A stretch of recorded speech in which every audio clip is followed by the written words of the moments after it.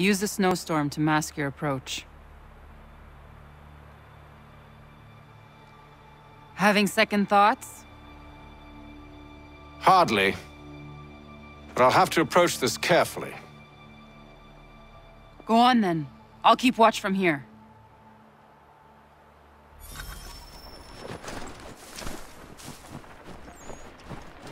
Hmm. I can hide in that cart.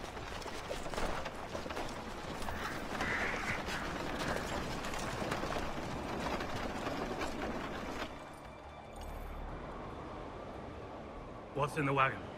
I need a full inventory. As you wish. Uh, let's see. Two barrels of salt, 12 pounds pork, 10 pounds beef, 7 dozen eggs, 16 wheels of cheese. None of it French, don't worry.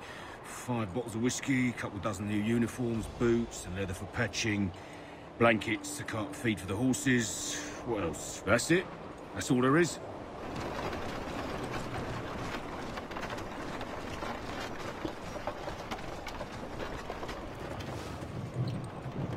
Those cannons are like to cause trouble. Perhaps I could sabotage them.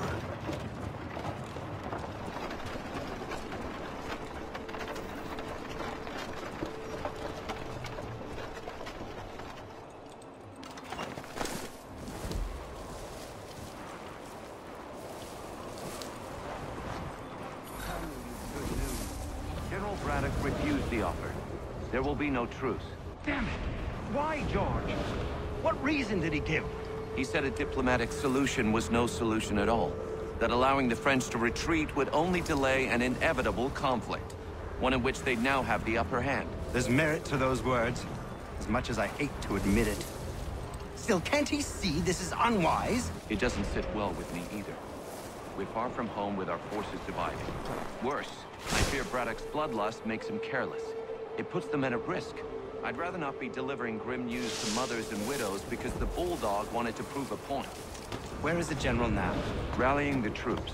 And then it's on to Fort Duquesne, I assume? Eventually. The march north will surely take time. There's a copy of the plans in the command tent should you wish to review them. At least this will be ended soon. I tried, John. I know, my friend.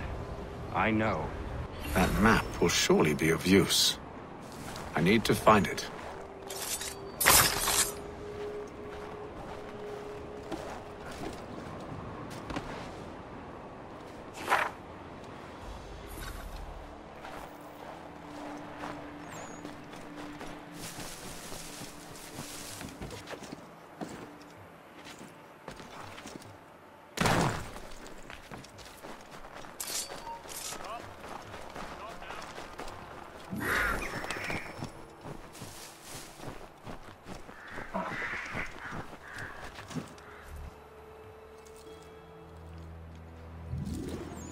What news?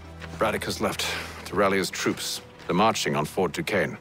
It'll be a while yet till they're ready, which gives us time to form a plan. No need. We will ambush him here near the river. Go and gather your allies. I will do the same. I will send word when it is time to strike.